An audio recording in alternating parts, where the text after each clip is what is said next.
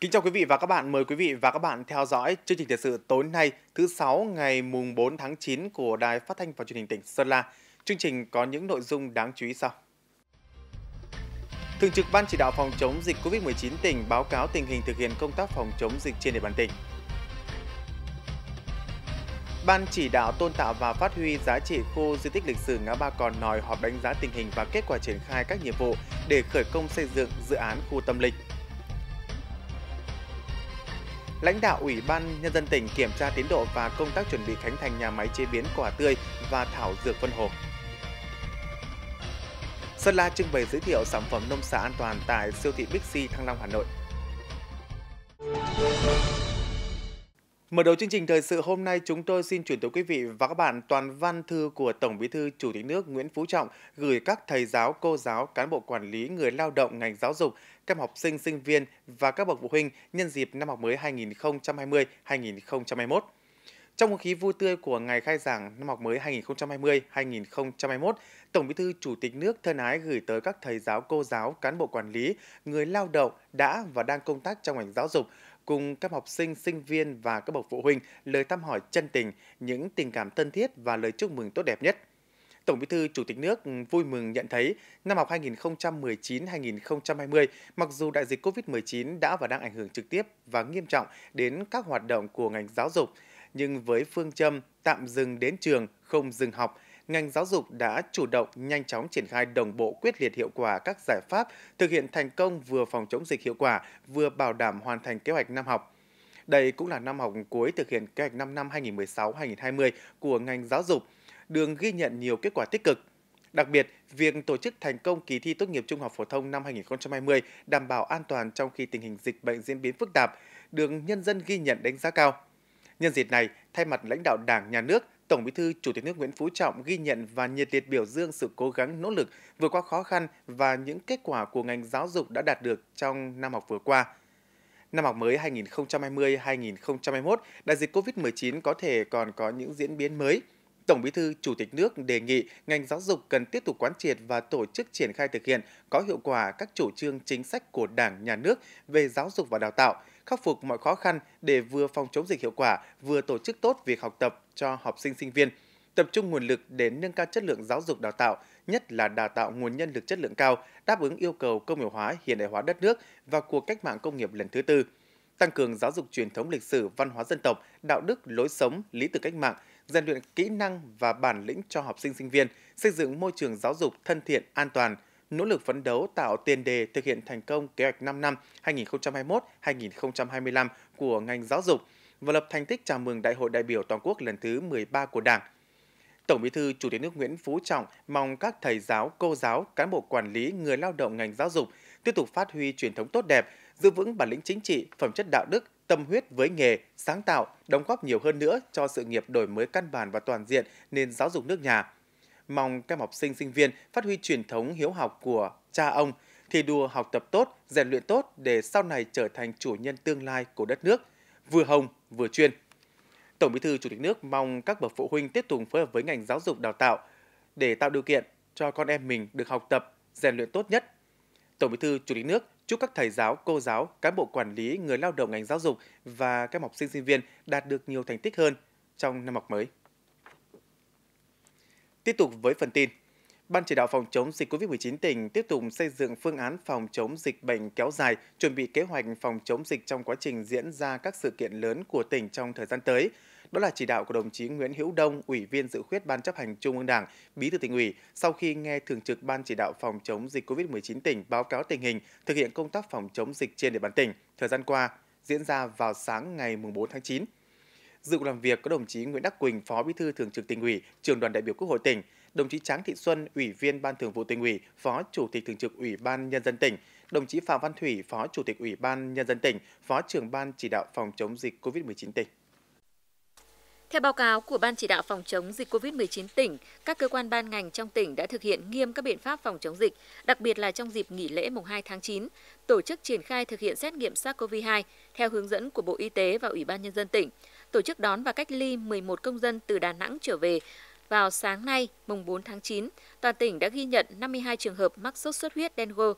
Tại cuộc làm việc, Thường trực Ban chỉ đạo phòng chống COVID-19 tỉnh cũng đã báo cáo tiến độ xây dựng bệnh viện 550 giường, phương án tổ chức lễ khánh thành bệnh viện.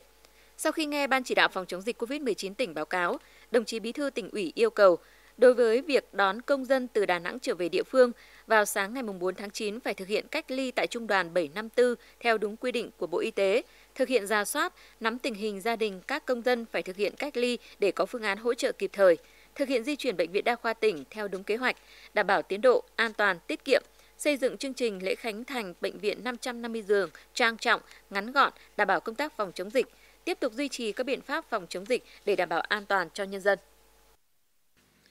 Chiều nay, Ngày 4 tháng 9, đồng chí Nguyễn Đắc Quỳnh, Phó Bí thư Thường trực tỉnh ủy, trưởng đoàn đại biểu Quốc hội tỉnh, trưởng ban chỉ đạo tôn tạo và phát huy giá trị khu di tích lịch sử ngã ba Cò Nòi đã chủ trì cuộc họp của Ban chỉ đạo đánh giá tình hình và kết quả triển khai các nhiệm vụ để khởi công xây dựng dự án khu tâm linh. Dự cuộc họp có đồng chí Mai Thu Hương, Ủy viên Ban Thường vụ tỉnh ủy, trưởng ban tuyên giáo tỉnh ủy, đồng chí Nhâm Thị Phương, Phó Chủ tịch Hội đồng Nhân dân tỉnh, đồng chí Phạm Văn Thủy, Phó Chủ tịch Ủy ban Nhân dân tỉnh, lãnh đạo một số sở ngành của tỉnh và huyện Mai Sơn. Thực hiện kế hoạch của Ban chỉ đạo, Ban tuyên giáo tỉnh ủy đã chủ trì xây dựng đề cương và chỉ đạo tổ chức tuyên truyền về ý nghĩa lịch sử, giá trị của khu di tích lịch sử ngã ba Cò Nòi, công tác quy hoạch, trùng tu tôn tạo khu tưởng niệm thanh niên sung phong ngã ba Cò Nòi trên các phương tiện thông tin đại chúng tới toàn thể cán bộ công chức viên chức, đảng viên và nhân dân – Khu tưởng niệm được quy hoạch có diện tích 10,5 ha, trong đó giai đoạn 1 sẽ giải phóng 1,1 ha xây dựng khu tâm linh. Đến nay, huyện Mai Sơn đã chỉ đạo Hội đồng Giải phóng mặt bằng hoàn thành công tác kiểm đếm, công khai phương án bồi thường hỗ trợ và tái định cư cho 10 hộ bị ảnh hưởng. Công đoàn Ngân hàng Nhà nước Việt Nam đã thống nhất hỗ trợ 8,3 tỷ đồng kinh phí đầu tư xây dựng khu tâm linh. Các sở ngành liên quan của tỉnh đang tập trung thực hiện một số nhiệm vụ như sưu tầm tư liệu, hiện vật lịch sử để trưng bày tại nhà trưng bày, ra soát xác minh số lượng danh tính các liệt sĩ, phương án thiết kế khu tâm linh. Phát biểu kết luận cuộc làm việc, đồng chí Nguyễn Đắc Quỳnh đề nghị thành viên ban chỉ đạo tiếp tục triển khai những nội dung công việc đã đề ra theo kế hoạch của ban chỉ đạo, tập trung tuyên truyền ý nghĩa di tích lịch sử quốc gia ngã ba Con Nòi, hoàn thiện nội dung thiết kế thi công khu tưởng niệm, trình ban thường vụ tỉnh ủy cho ý kiến, tiếp tục triển khai hoàn thiện việc sưu tầm tư liệu, hiện vật để trưng bày tại nhà trưng bày, ra soát xác minh danh tính các liệt sĩ thanh niên sung phong, dân công hỏa tuyến đã hy sinh trong chiến dịch lịch sử Điện Biên Phủ. Huyện Mai Sơn làm tốt công tác giải phóng mặt bằng, chuẩn bị khởi công xây dựng khu tâm linh, dự kiến tổ chức vào ngày 10 tháng 9 năm 2020. Ban cán sự Đảng Ủy ban nhân dân tỉnh chỉ đạo cơ quan chuyên môn chuẩn bị hồ sơ liên quan, ra bàn thiết kế, đầu tư xây dựng cho giai đoạn 2 của dự án. Trong hai ngày mùng 3 và mùng 4 tháng 9 tại huyện Mộc Châu, đồng chí Trần Hữu Phước, Phó Chủ tịch chuyên trách Ủy ban Mặt trận Tổ quốc Thành phố Hồ Chí Minh cùng đoàn công tác đã đến thăm tặng quà cho đồng bào bị thiệt hại bởi động đất tại huyện Mộc Châu. Tiếp làm việc với đoàn về phía tỉnh Sơn La có đồng chí Vi Đức Thọ, Ủy viên Ban Thường vụ tỉnh ủy, Chủ tịch Ủy ban Mặt trận Tổ quốc Việt Nam tỉnh, các đồng chí lãnh đạo huyện Mộc Châu. Theo thống kê của Ban Chỉ huy Phòng chống thiên tai và tìm kiếm cứu nạn huyện Mộc Châu, các đợt động đất và dư chấn từ ngày 27 tháng 7 trên địa bàn huyện Mộc Châu đã làm 4 trụ sở làm việc Ủy ban Nhân dân các xã nà Mường, Tà Lại, Lóng Sập, Tân Hợp bị lún, nứt tường, rơi vỡ nhiều máng, chát tường, trần nhà và nứt gãy nhiều đoạn cổ trần. 11 nhà văn hóa tại các xã trên địa bàn huyện Mộc Châu bị sập trần nhựa, lún, nứt tường. 4 trạm y tế xã bị lún, nứt tường, 8 điểm trường bị nứt tường. Kỳ thời chia sẻ khó khăn với người dân bị ảnh hưởng bởi động đất ở Mộc Châu – Ủy ban Mặt trận Tổ quốc Việt Nam thành phố Hồ Chí Minh đã đến nơi xảy ra động đất thăm hỏi động viên và trao quà hỗ trợ cho 70 hộ bị thiệt hại ở các xã Nà Mường, Tà Lại, Tân Lập với tổng trị giá 300 triệu đồng. Trong đó hỗ trợ 20 hộ bị thiệt hại nặng với số tiền 10 triệu đồng một hộ, 50 hộ bị thiệt hại nhẹ được hỗ trợ 2 triệu đồng một hộ. Trong chương trình làm việc tại huyện Mộc Châu, đoàn công tác của Ủy ban Mặt trận Tổ quốc Thành phố Hồ Chí Minh cũng đã đến thăm tặng quà cho các học sinh tại điểm trường mầm non bản Púc Bát, xã Đóng Sập, thăm cán bộ chiến sĩ tại chốt kiểm dịch biên phòng bản Phiêng Cài, xã Lóng Sập, tặng 30 triệu đồng cho đồn biên phòng cửa khẩu quốc gia Lóng Sập để phục vụ công tác phòng chống dịch bệnh COVID-19. Hôm nay, Ngày 4 tháng 9, đồng chí Nguyễn Quốc Khánh, Phó Chủ tịch Ủy ban Nhân dân tỉnh đã kiểm tra tiến độ và công tác chuẩn bị khánh thành nhà máy chế biến quả tươi và thảo dược Vân Hồ. Tham gia đoàn công tác có lãnh đạo một số sở ban ngành của tỉnh, huyện Vân Hồ và đại diện tập đoàn TH. Đến ngày 31 tháng 8, các thiết bị chính của nhà máy chế biến quả tươi và thảo dược Vân Hồ đã được lắp đặt xong, dự kiến nghiệm thu và chạy thử hoàn thành trước ngày 10 tháng 9. Các hạng mục cảnh quan trong khuôn viên nhà máy đã hoàn thành 90%. Do ảnh hưởng của dịch COVID-19, các chuyên gia nước ngoài không sang được Việt Nam nên công ty cổ phần chế biến thực phẩm công nghệ cao đã có phương án thay thế bằng chuyên gia người Việt Nam thực hiện. Công tác thu mua nguyên liệu sẽ được triển khai từ ngày 5 tháng 9, đảm bảo việc chạy thử và đảm bảo về điện, nước, thoát nước, xử lý môi trường.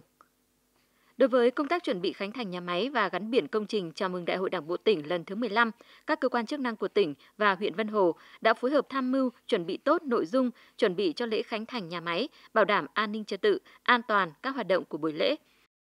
Phát biểu tại cuộc làm việc, đồng chí Nguyễn Quốc Khánh ghi nhận và đánh giá cao công tác phối hợp chuẩn bị cho khánh thành nhà máy của cấp ngành địa phương, đồng thời nhấn mạnh đây là công trình có ý nghĩa quan trọng, gắn sản xuất nông nghiệp với chế biến, thúc đẩy phát triển kinh tế xã hội của tỉnh – Do đó, công ty cần xây dựng hai phương án tổ chức lễ khánh thành trong thời điểm tình hình dịch COVID-19 đang diễn biến phức tạp. Các sở ngành triển khai phương án xây dựng kịch bản chi tiết, tổ chức chương trình khánh thành và gắn biển chào mừng Đại hội Đảng bộ tỉnh lần thứ 15. Chiều nay, ngày 4 tháng 9, đồng chí Lò Minh Hùng, Phó Chủ tịch Ủy ban Nhân dân tỉnh, trưởng ban chỉ đạo thực hiện đề án hỗ trợ hộ nghèo khó khăn về nhà ở huyện Vân Hồ đã chủ trì cuộc họp ban chỉ đạo và tổ giúp việc – Dự cuộc họp có Đại tá Nguyễn Ngọc Vân, Ủy viên Ban Thường vụ tỉnh ủy, Giám đốc Công an tỉnh, các đồng chí thành viên Ban chỉ đạo Tổ giúp việc và huyện Vân Hồ. Theo đề án, huyện Vân Hồ có 1.229 hộ thuộc diện hộ nghèo, gia đình chính sách khó khăn về nhà ở, cần hỗ trợ. Tính đến ngày 3 tháng 9 năm 2020, đã có 837 nhà được xây mới và sửa chữa, trong đó nhà nước hỗ trợ làm mới 573 nhà, đã hoàn thiện 349 nhà, đang tiến hành xây dựng 226 nhà, các hộ dân tự làm 195 nhà, đã hoàn thiện 104 nhà, 91 nhà đang tiến hành xây dựng. 459 nhà được hỗ trợ sửa chữa, đã sửa chữa xong 384 nhà, 75 nhà đang sửa chữa. Các công trình đã hoàn thiện đều đảm bảo yêu cầu về tiêu chuẩn kỹ thuật theo quy định. Phát biểu tại cuộc họp, đồng chí Lò Minh Hùng đánh giá cao những nỗ lực của các thành viên ban chỉ đạo, tổ giúp việc và Ủy ban Nhân dân huyện Vân Hồ trong triển khai thực hiện đề án – đề nghị huyện Vân Hồ tiếp tục lãnh đạo chỉ đạo kiểm tra đôn đốc việc xây dựng mới và sửa chữa, tổ chức nghiệm thu bàn giao đưa vào sử dụng theo quy định, hoàn thành trước ngày 20 tháng 9 tới đây, xây dựng kế hoạch tổ chức lễ khánh thành đề án chào mừng Đại hội Đảng bộ tỉnh Sơn La lần thứ 15 đảm bảo trang trọng ý nghĩa của đề án. Ngay sau khi 11 công dân Sơn La được các cơ quan chức năng đón từ Đà Nẵng về và thực hiện cách ly tại khu cách ly tập trung tại Trung đoàn 754, Bộ Chỉ huy Quân sự tỉnh vào sáng nay, đồng chí Phạm Văn Thủy, Phó Chủ tịch Ủy ban Nhân dân tỉnh, Phó trưởng Ban chỉ đạo phòng chống dịch COVID-19 tỉnh đã đến kiểm tra cơ sở vật chất và thăm hỏi các công dân thực hiện cách ly tại Trung đoàn 754. Theo báo cáo của cơ quan chức năng, 11 công dân tỉnh Sơn La vừa được đón về vào sáng mùng 4 tháng 9 đã hoàn thành quy trình cách ly và có kết quả xét nghiệm âm tính với virus SARS-CoV-2 do các cơ quan y tế tại Đà Nẵng thực hiện. Ngay sau khi trở về địa phương, 11 công dân này tiếp tục được cách ly tại khu cách ly tập trung Trung đoàn 754 Bộ Chỉ huy Quân sự tỉnh Sơn La trong 14 ngày. Đồng chí Phạm Văn Thủy cùng đại diện các cơ quan chức năng đã kiểm tra điều kiện ăn ở tại khu cách ly tập trung Trung đoàn 754, đồng thời thăm hỏi, động viên các công dân yên tâm, nghiêm túc thực hiện quy định cách ly theo yêu cầu phòng chống dịch của Bộ Y tế, của tỉnh Đồng chí Phó Chủ tịch Ủy ban Nhân dân tỉnh Phạm Văn Thủy đề nghị các cán bộ chiến sĩ Trung đoàn 754 thực hiện đầy đủ các quy trình phòng chống dịch như kiểm tra y tế, đo thân nhiệt, đảm bảo đầy đủ chế độ dinh dưỡng các bữa ăn, chuẩn bị phòng nghỉ sạch, thoáng mát cho các công dân trong quá trình thực hiện cách ly tập trung. Sáng nay, Ngày 4 tháng 9, đồng chí Trần Đắc Thắng, Ủy viên Ban chấp hành Đảng Bộ tỉnh, Bí thư huyện ủy và lãnh đạo Đảng ủy thị trấn Hát Lót, huyện Mai Sơn đã dự buổi sinh hoạt tri bộ thường kỳ tại tri bộ tiểu khu 4, thị trấn Hát Lót, huyện Mai Sơn. Tại buổi sinh hoạt tri bộ đã quán triệt triển khai một số văn bản chỉ đạo của cấp trên tới các đồng chí cán bộ đảng viên trong tri bộ, trong đó có chỉ thị số 45 của Bộ Chính trị về lãnh đạo bầu cử đại biểu Quốc hội khóa 15 và Hội đồng Nhân dân các cấp nhiệm kỳ 2021-2026, kết luận của Ban Bí thư về tăng cường sự lãnh đạo của Đảng trong công tác phổ biến giáo dục pháp luật, nâng cao ý thức chấp hành pháp luật của cán bộ và nhân dân, tuyên truyền kết quả Đại hội Đảng bộ huyện Mai Sơn lần thứ 20 nhiệm kỳ 2020-2025 về tình hình phòng chống dịch COVID-19 và dịch sốt xuất huyết trên địa bàn. Phát biểu tại buổi sinh hoạt tri bộ nơi cư trú, đồng chí Bí thư huyện ủy Mai Sơn đề nghị tri bộ tiểu khu 4 tiếp tục tuyên truyền các chủ trương đường lối của Đảng, chính sách pháp luật của nhà nước tới các tầng lớp nhân dân, đẩy mạnh phong trào thi đua yêu nước chào mừng Đại hội Đảng các cấp, coi trọng công tác phòng chống dịch bệnh COVID-19 và dịch sốt xuất huyết trên địa bàn, quan tâm giúp đỡ các gia đình chính sách đảm bảo công tác an ninh trật tự, giữ vững khu dân cư an toàn, kịp thời tháo gỡ khó khăn vướng mắc cho người dân. Hôm nay, ngày 4 tháng 9, Thường trực Hội đồng Nhân dân huyện Thuận Châu đã tổ chức phiên họp thứ 49 để xem xét một số nội dung quan trọng sớm triển khai trong thời gian tới. Xem xét và cho ý kiến vào các tờ trình của Ủy ban Nhân dân huyện về việc giao bổ sung kinh phí cho Ủy ban Nhân dân các xã thị trấn, các cơ quan đơn vị thực hiện các nhiệm vụ phát sinh trong năm 2020. Phiên họp cũng đã thông qua các kế hoạch giám sát việc giải quyết kiến nghị của cử tri gửi đến kỳ họp thứ 15 Hội đồng Nhân dân huyện khóa 20, kế hoạch triển khai thực hiện chương trình giám sát năm 2021 của Hội đồng Nhân dân huyện khóa 20 và một số nội dung quan trọng khác.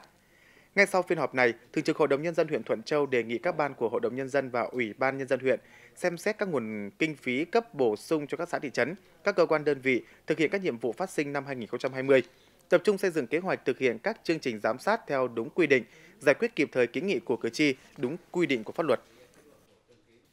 Sáng nay, Ngày 4 tháng 9, Thường trực Ủy ban Nhân dân huyện Phú Yên đã có buổi làm việc với Ban chỉ đạo xây dựng nông thôn mới xã Tân Lang để trao đổi nắm bắt những khó khăn vướng mắc trong việc tổ chức thực hiện để tìm giải pháp tháo gỡ nhằm giúp xã hoàn thành các tiêu chí cán đích nông thôn mới trong năm nay.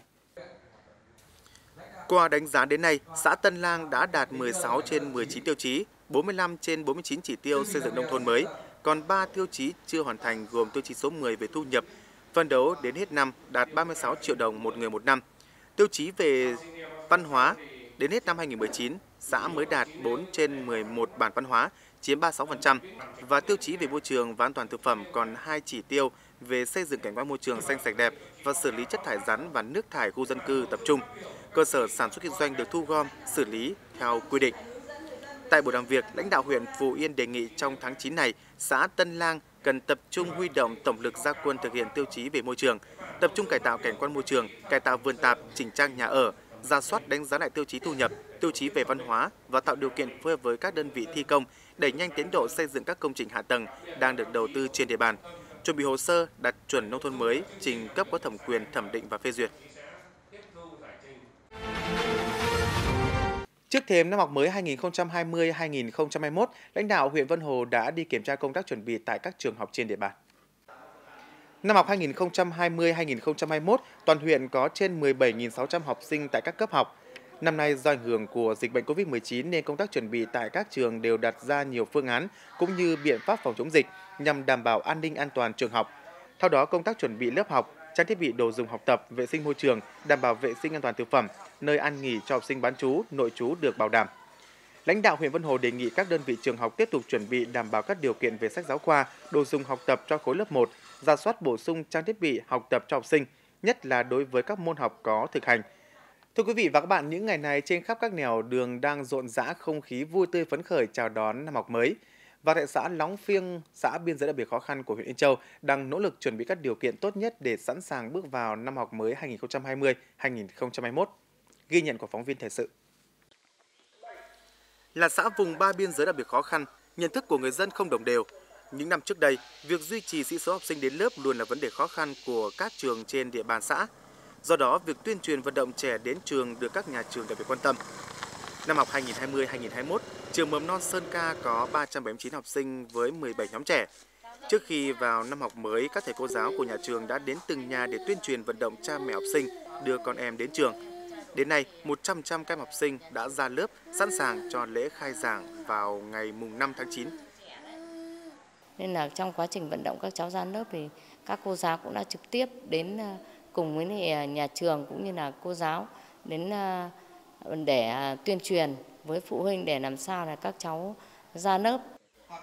Năm học này, thầy và trò điểm trường tiểu học Mơ Tươi vui mừng vì có những phòng học khang trang kiên cố với quy mô hai phòng học cho học sinh, một phòng công vụ cho giáo viên với giá trị 320 triệu đồng được hoàn thành và đưa vào sử dụng trước thềm năm học mới sẽ giúp thầy cô giáo vững tin bám trường bám lớp, gieo chữ cho các em học sinh nơi vùng cao biên giới.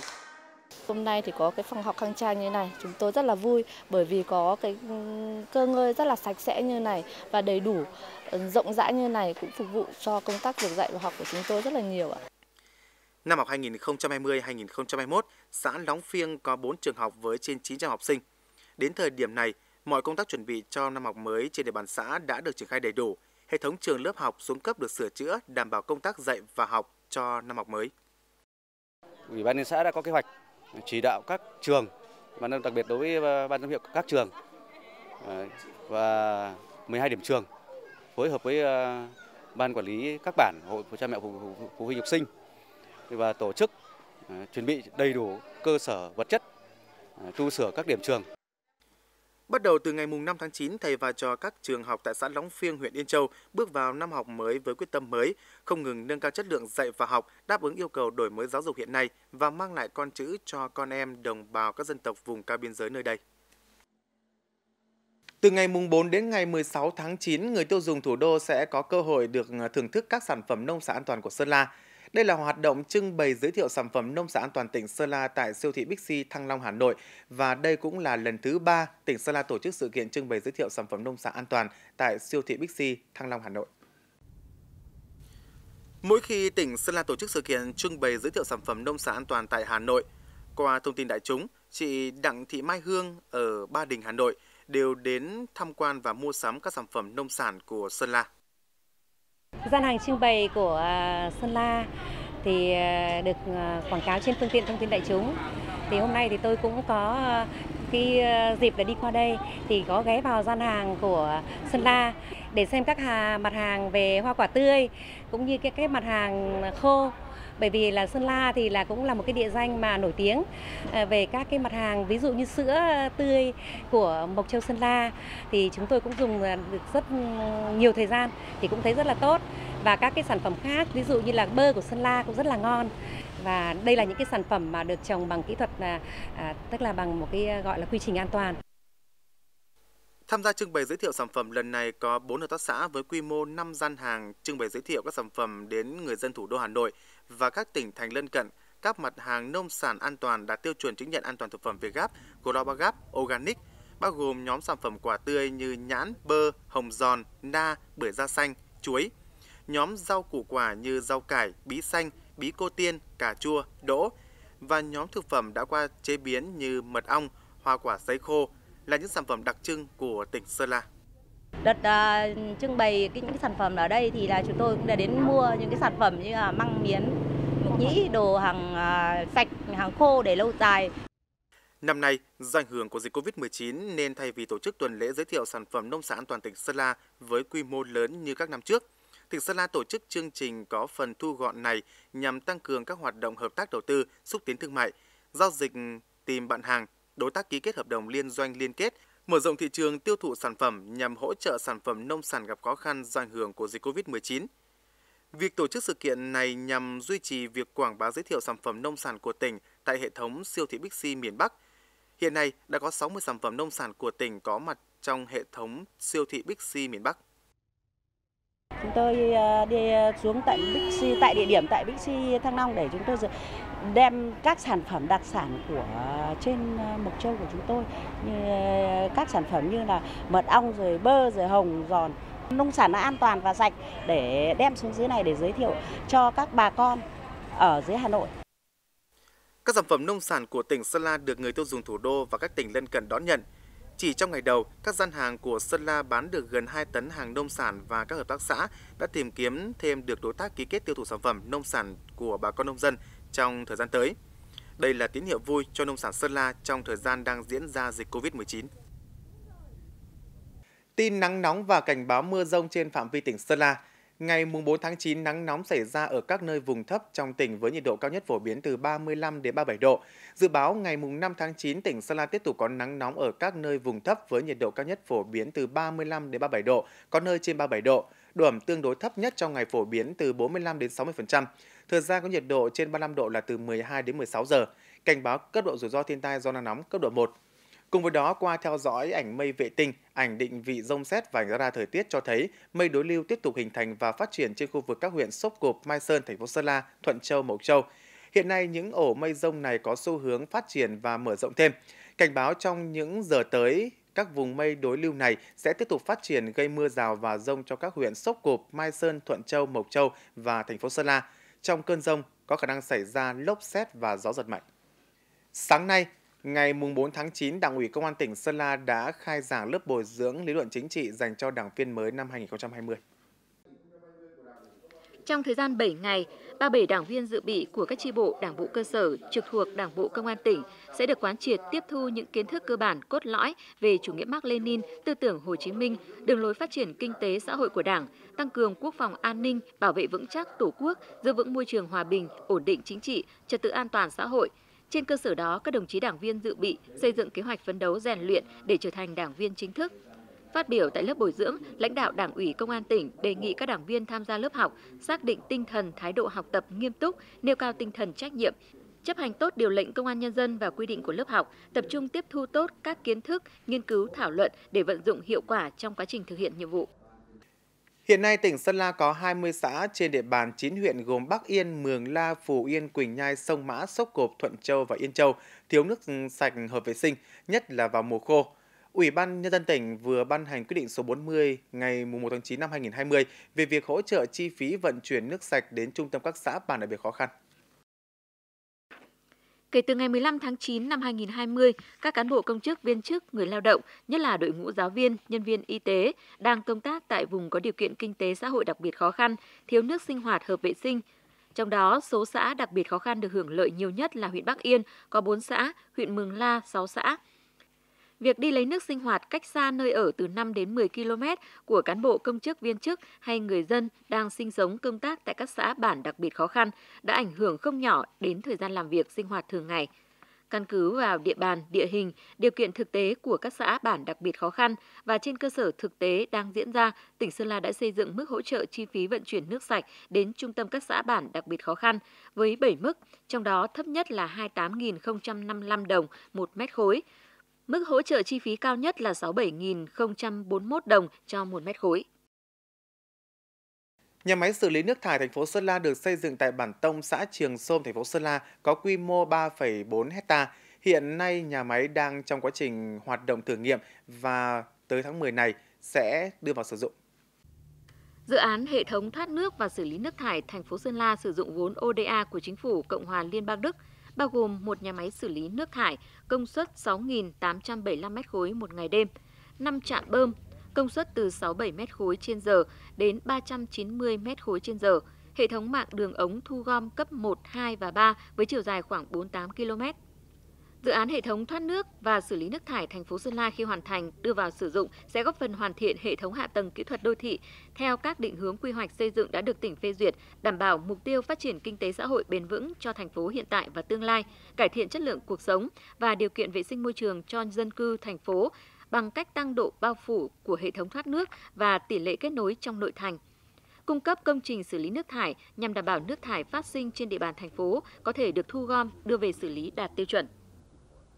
Hôm nay, ngày 4 tháng 9, Công an huyện Quỳnh Nhai phối hợp với trường cho phổ thông Quỳnh Nhai tổ chức buổi tuyên truyền phổ biến giáo dục pháp luật về đảm bảo trật tự an toàn giao thông đường bộ, đường thủy năm 2020 cho cán bộ giáo viên và học sinh trong toàn trường.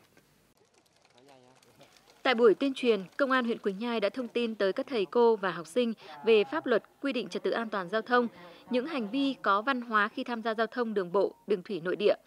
tuyên truyền các hành vi vi phạm là nguyên nhân trực tiếp dẫn đến tai nạn giao thông như đi không đúng phần đường, tránh vượt sai quy định, chở quá tải, quá số người quy định, đón trả khách không đúng nơi quy định, không chấp hành tín hiệu đèn giao thông, không đội mũ bảo hiểm, học sinh, sinh viên chưa đủ tuổi lái xe sử dụng rượu bia khi điều khiển phương tiện tham gia giao thông, gây mất trật tự an toàn giao thông và ô nhiễm môi trường. Không có giấy phép lái xe hoặc giấy phép lái xe không phù hợp với xe điều khiển, vi phạm các quy định về điều kiện đảm bảo an toàn khi tham gia giao thông đường thủy như phương tiện không đảm bảo tiêu chuẩn kỹ thuật, không đăng ký đăng kiểm, không trang bị dụng cụ cứu sinh, cứu đắm. Thông qua buổi tuyên truyền này sẽ giúp cho nhiều em học sinh nắm vững các quy định của pháp luật để thực hiện nghiêm túc luật giao thông đường bộ, đường thủy nội địa ngay từ ngày đầu tiên của năm học mới 2020-2021. Tới đây chương trình thời sự tối của Đài Phát thanh Truyền hình Sơn La cũng xin được kết thúc. Cảm ơn quý vị và các bạn đã dành thời gian theo dõi. Xin kính chào tạm biệt và hẹn gặp lại. Dự báo thời tiết toàn tỉnh Sơn La mây thay đổi có mưa rào và rông vài nơi, ngày nắng, vùng thấp nắng nóng, độ ẩm 50 đến 96%. Nhiệt độ Quỳnh Nhai 23 đến 34 độ. Thành phố Sơn La 22 đến 33 độ. Mường La 25 đến 37 độ. Mai Sơn 23 đến 34 độ. Yên Châu 24 đến 37 độ. Sông Mã 23 đến 36 độ. Bắc Yên 23 đến 33 độ. Phú Yên 25 đến 37 độ. Mộc Châu 21 đến 31 độ. Sốp Cộp 23 đến 36 độ. Vân Hồ 21 đến 31 độ. Thuận Châu 23 đến 33 độ.